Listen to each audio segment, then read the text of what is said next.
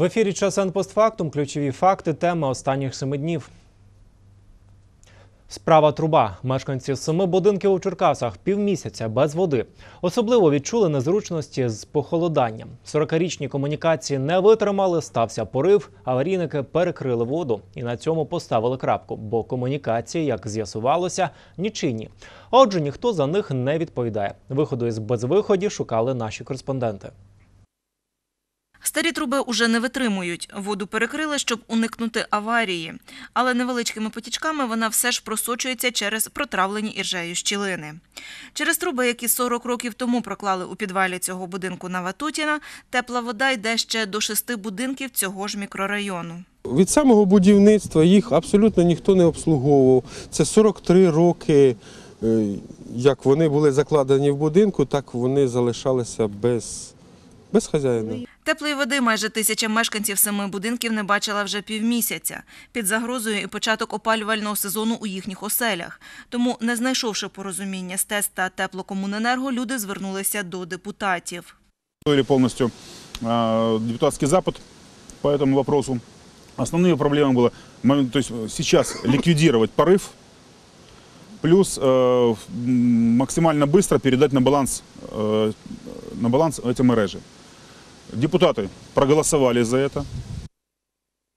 У міськраді про проблему мешканців будинків по вулиці Ватутіна Рябоконя кажуть, чули. На попередній сесії було доручення департаменту економіки протягом 10 днів підготувати документи на передачу цих безхазяйних мереж на баланс Черкаси теплокомуненерго. Е, З метою прискорення виконання ремонтних робіт вже сьогодні у 9 годин ранку бригада Черкаси теплокомуненерго туди виїхала, незважаючи на те, що мережі поки що не їхні. Е, Враховуючи те, що Черкаська ТЕЦ взагалі відмовляється від виконання будь-яких там робіт. На наступний рік, зазначив Андрій Наумчук, у бюджет розвитку міста закладатимуть кошти на те, щоб винести ці комунікації за межі будинку. Коштуватимуть роботи за попередніми підрахунками 2 мільйони гривень. У свою ж чергу мешканці семи будинків кажуть, що трубам щонайменше потрібен господар. Тоді, мовляв, буде з кого питати. Бывает очень часто, потому что трубы э, ликвидировал, а ликвидировали в основном и субы были здесь, и жеки были здесь, кто, кто кого где. Поэтому здесь нужно, э, хозяин должен быть. Війна через перевезення розгортається в селі Руська Поляна. Там люди перекрили дорогу і не пускають маршрутки. кажуть, усе через зміну перевізника, який обслуговує маршрут Руська Поляна Черкаси. Чим не задовольнив селян, підприємець з'ясовувала Ірина Васюра. Не компліментуйте людей. Ну не треба, що він їде. А чого він їде? Чого воно їде? Отак із п'ятої ранку жителі Руської поляни блокують місцеву дорогу. На радикальні дії наважились, бо кажуть, не хочуть, аби маршрут обслуговував новий бізнесмен.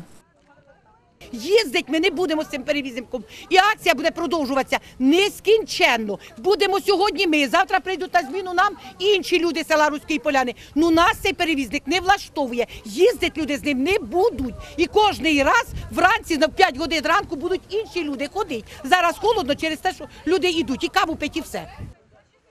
Найбільше селян обурило те, що їх про зміну перевізника не попередили. Кажуть, мають до нього чимало претензій. Вони йдуть е, між цими маршрутками, що були. Один на одному. Дитину з першого класу не забрали, вигнали з автобуса. Людина міняйло, жінка похилого віку. Тільки стала на ступеньку, водитель закрив двері, вона впала, розбила голову, вона звернулася в лікарню. Це неподобство. Підприємець будь-які звинувачення в непрофесійності відкидає. Намагається заспокоїти людей. Ніяких змін селяни не відчують.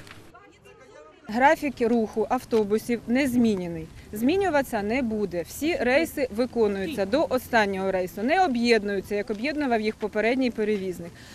В 21.40 останній рейс з Руської поляни на Черкаси. Він щоденно їздить, попередній так само виконується. Тариф підніматися не буде. Законність дій нового перевізника підтверджують і чиновники. Договір із бізнесменом вже уклала районна влада. І невдоволення людей цього рішення не змінять.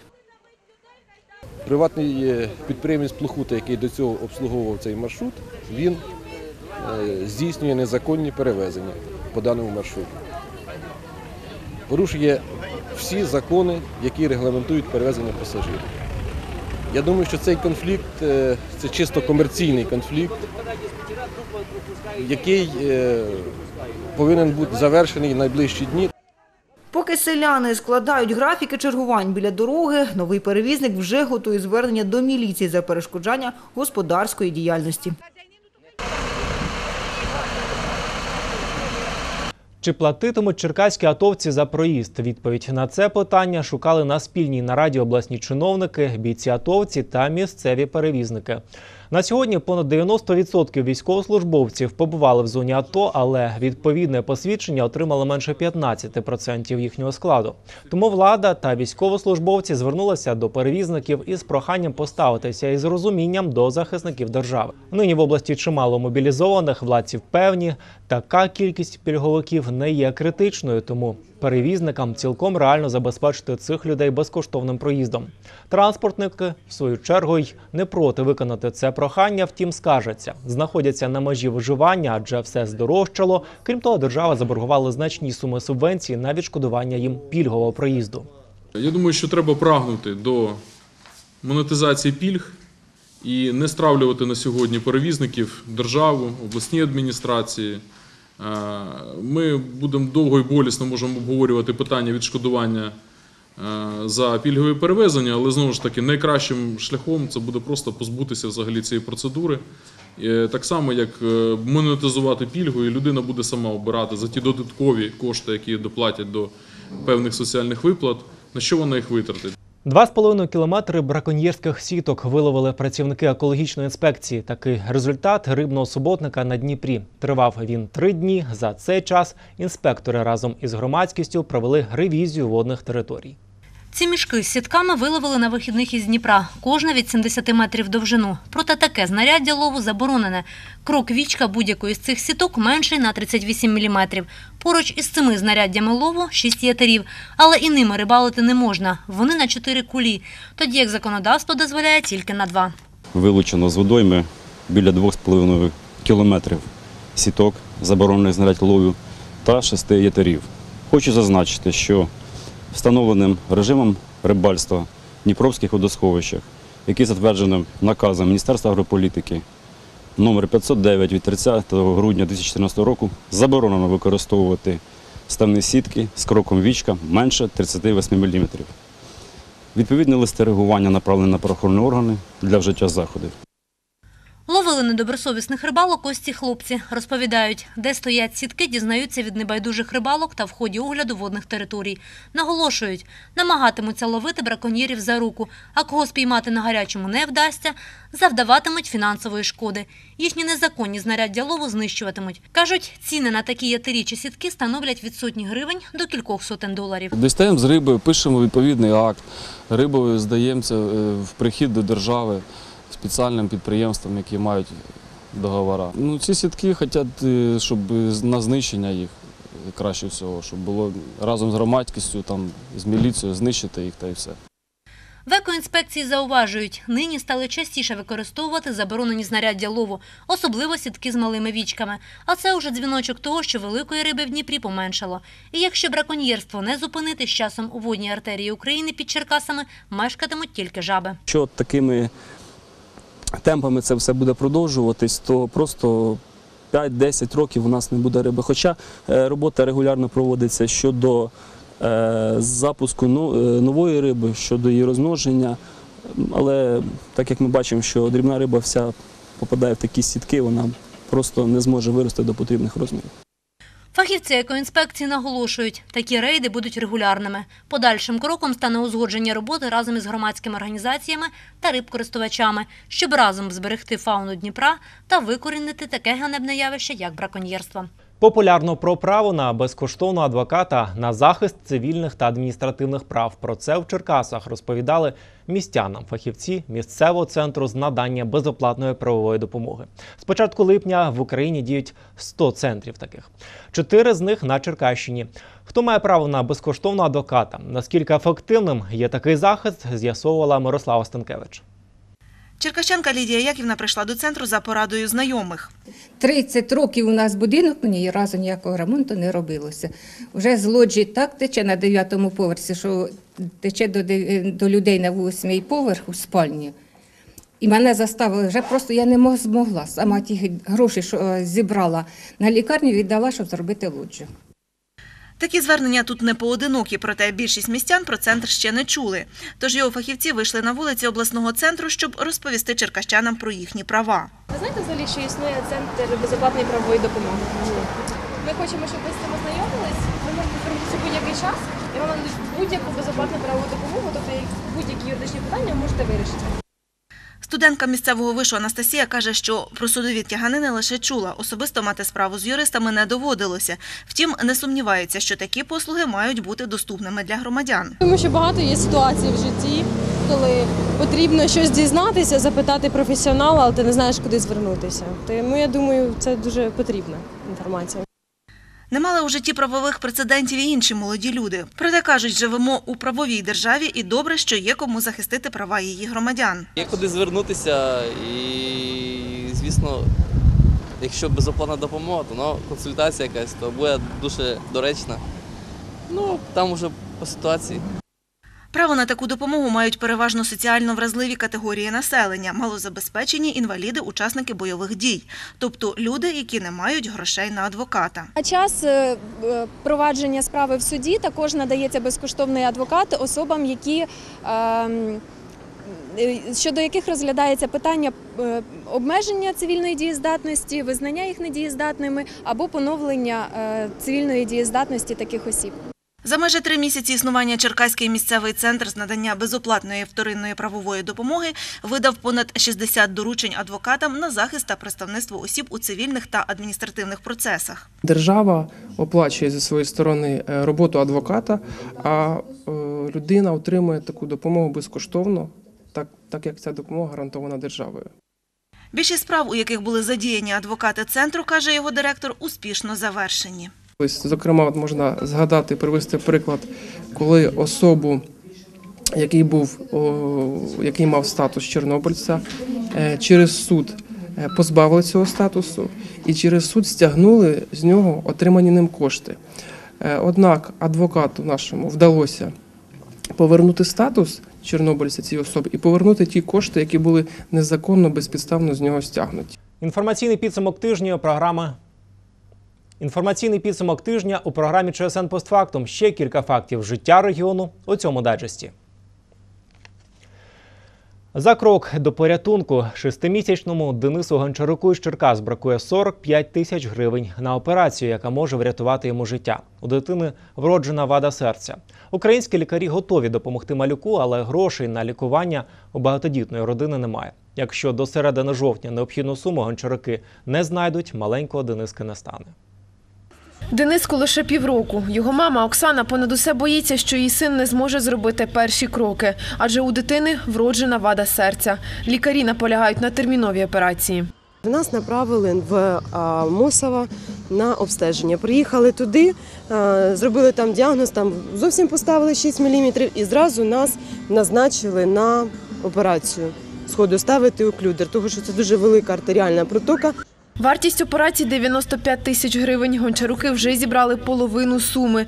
Допомогли друзі, знайомі та меценати. Щоб заробити гроші на операцію малюку, Оксана влаштувалась на три роботи. За фахом вона хореограф, організовує для сина благодійні концерти. Не будьте байдужими, не приходьте повз наш благодійний концерт. Залишайтеся з нами, допоможіть нам. У родині гончаруків троє дітей. Батька немає. Щоб допомогти молодшому братику, Нікіта та й Ксенія збирають під час благодійного концерту гроші. Мого братика порог серця. Я хочу, щоб йому допомогли. Е, я його дуже люблю, він завжди веселий. Я люблю його. Я хочу, щоб йому скоріше зробили операцію. Я хочу, щоб він жив. До середини жовтня родина має знайти 45 тисяч гривень. Якщо найближчим часом Денискові не зробити операцію, він помре. Це мої внуки, моє дитя, моє горе. А тільки дуже мені страшно, моя дитина, дуже страшно. Я не знаю, я знаю, як вона може терпіти. А я не видержую. Знаю, що те время приходить, що будуть черепушки ламати чи різати. А скільки ж живу? Родина Гончариків просить у небайдужих до їхнього горя допомоги. Перерахувати гроші на лікування малюка можна на банківську картку. Реквізити ви знайдете на нашому сайті у рубриці Ми допомагаємо. Віднині прапор з передової прикрашатиме музейний куточок у Черкаській школі номер 30. Знамена учням передала волонтерська група Поміч народу. Раніше стяг був оберегом 93-ї аеромобільної бригади Збройних сил України. В подяку за подарунок учні організували благодійний ярмарок. Виручені гроші спрямують на допомогу бійцям. Випічка, цукерки та овочі – такий асортимент товарів на дитячому ярмаркові. Школярі разом із батьками та вчителями розставляють товари та беруть участь у творчих конкурсах. Усе, щоб зібрати більше коштів на потреби бійців. щоб самого маличку підтримувати в дітях патріотизм та любов до своєї країни. Адже подивіться, скільки за нами малих діточок, які так старанно турбуються, щоб те, що вона приготовляли їхні матері, е, можливо, їхні бабусі продали, і це пішло до воїнів АТО. Адже ми повинні якось їх підтримувати цим. Такий ярмарок у школі проводять більше 10 років. Зібрані гроші завжди спрямовували на благодійність. зібрані кошти, зібрані е, консервації, яку приносять діти. Ми завжди передавали пенсіонерам, ветеранам. Цього року і минулому, звичайно, році у нас була ярмарка, де весь цей е, все, що ми збирали, ми передаємо в зону АТО нашим бійцям, які захищають нас, наш мир, наше життя. Учні з задоволенням беруть участь у ярмарку. Кажуть, на таких заходах можна і свої таланти показати, і іншим допомогти. Наші дітки вони всі готувалися. Їм дуже подобається показати свої таланти. І ми також любимо подивитися, підтримати. Взагалі, ми дуже любимо відкривати нових зірочок наших і щоб. е, Наш конкурс е, був масштабніший цей ярмарок. Ми влаштовуємо е, різні змагання, закликаємо народ до того, щоб вони приходили, купували і щоб всім дуже сподобався. Учні не вперше допомагають військовим. В подяку за це атовці через волонтерів передали їм прапор із передової.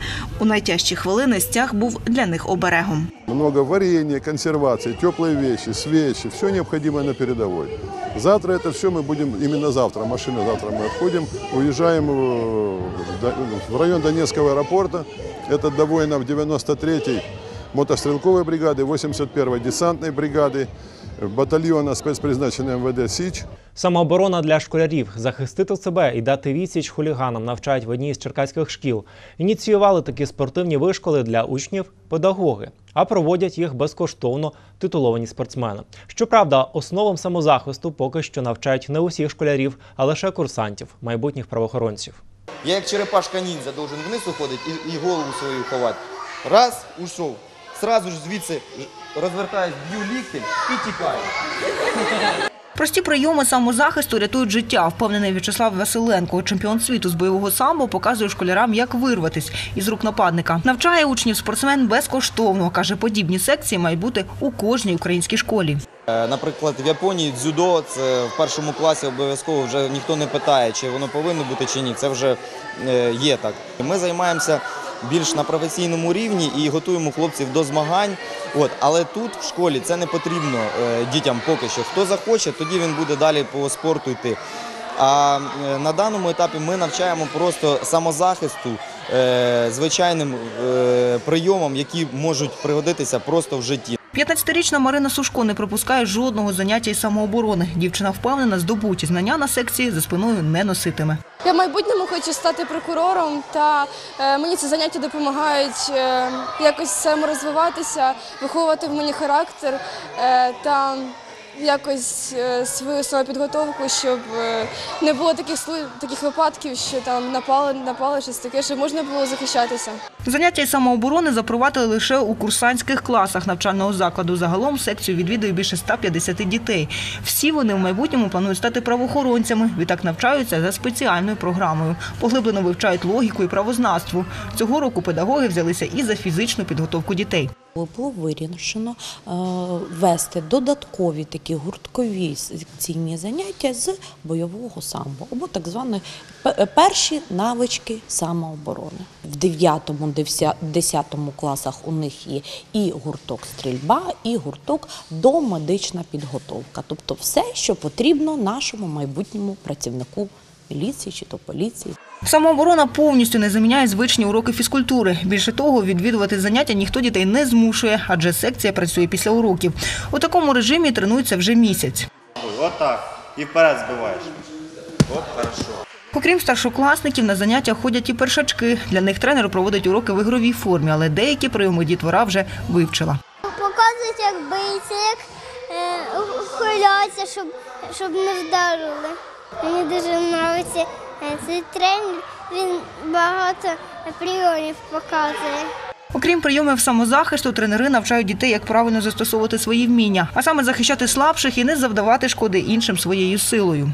Ну, в школі не можна битись, на вулиці просто так не можна. Це якщо якийсь е, нападе маньяк чи хтось, то тоді треба якось діяти. Відкриття секції самооборони у цій школі педагогічний експеримент. Але освітяни впевнені, решта черкаських навчальних закладів запозичить їхній досвід і теж запровадить подібні масові тренування для своїх вихованців. Персональний сайт Василя Симоненка. Такий проект реалізувала Черкаська обласна бібліотека для юнацтва.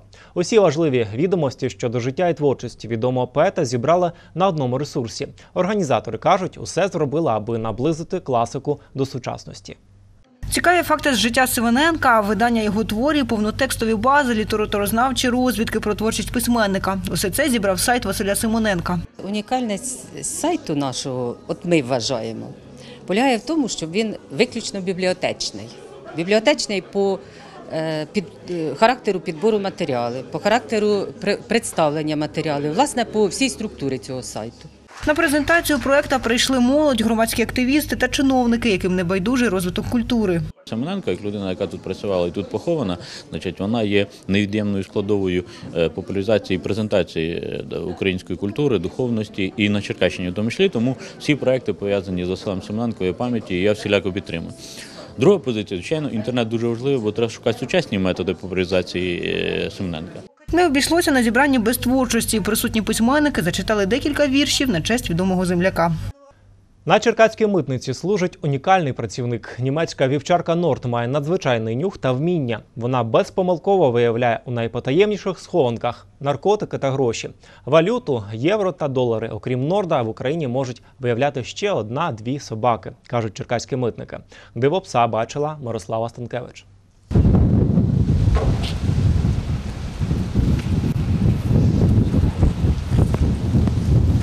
Не минуло і десятка секунд, як Норт виявив навчальну закладку із героїном. За унікальною системою його тренує кінолог Віталій Лепетень. Усе проходить тихо, пес читає команди у жестах та в очах людини. Е, Коли собачка знаходить е, пошуковий запах, вона пасив, позначає пасивно. Ну, тільки що ви бачили, що вона сіла. Це означає те, що е, вона знайшла іскомий запах. Е, Коли я піднімаю руку, це значить е, те, що я впевнився в тому, що її можна заохочувати. І для мене це є робота, для собачки це є гра. Дев'ять років тому знайомі подарували Віталію щеня німецької вівчарки. Роки тренувань, напруженої роботи і Норт – досвідчений пошуковець. У 2003-2008 роках він разом зі своїм інспектором працював у місії ООН в Косово, шукав наркотики. Чотирилапий неодноразовий переможець міжнародних змагань для службових собак. Сьогодні він штатний працівник Черкаської митниці. Основний напрямок роботи це пошук наркотичних речовин, е, які переміщуються через кордон на території України. Також ми співпрацюємо е, з працівниками силових структур, е, такі як СБУ, МВС та Укрпошта при відправленні міжнародної кореспонденції. Жодного разу, каже його господар, нюх Норда не підводив. Йому під силу найскладніші завдання. Був такий випадок, що він знайшов е, 20 кілограмів амфетаміну, який був схований у е, бензобаку автомобіля. Складність полягала у тому, що ємність була герметична, а стійкий аромошлейф бензину перебивав запах наркотику. Норд тоді отримав чергову медаль. Минулого року цей пес відмінно склав випробування, підтвердивши свою унікальність. Він може шукати валюту. Практично всі службові собаки е, натрен- натреновані на пошук наркотичних засобів. Але е, Норд е, він також в змозі знайти валюту, саме купюри, долари та євро. От, оскільки при виробництві ну, всі ми знаємо цих купюр, долари і євро, використовується. Е, блін. Да? Ага. Оскільки е, в доларових купюрах при виробництві е, доларових купюр е, використовується конопляна бумага, от, і саме наш Норд в змозі знайти Такі головні теми тижня, що минає. Наступний випуск інформаційного дайджесту ЧСН Постфактум дивіться у неділю, 11 жовтня, о цій порі. До зустрічі.